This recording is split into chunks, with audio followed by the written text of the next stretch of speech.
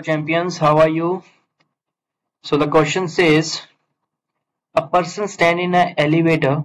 The total mass of the person and elevator is 800 kg. The elevator accelerates upwards at 2 meter per second square. What is the tension in the cable? So the tension in the cable we have to find. Acceleration is given. So first of all we will make a free body diagram the weight will be downwards and tension will be upwards. And the acceleration is going upwards. So the force is upwards. So the net force will be T minus W equals to F. And F is equals to mass into acceleration.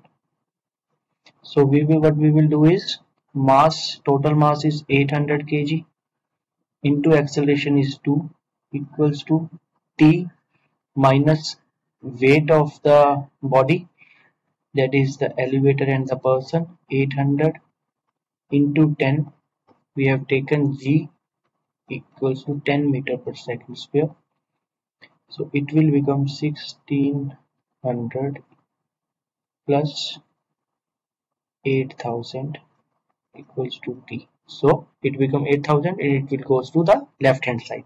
So the tension equals to 9.9600 uh, equals to 9.6 kilo newton so among this this is the right option. D will be the right option. Now we will check the mark scheme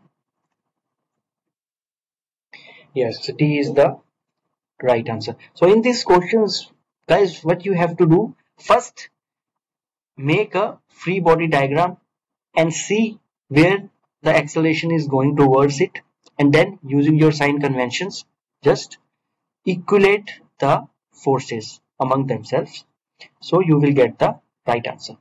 So thank you for watching this video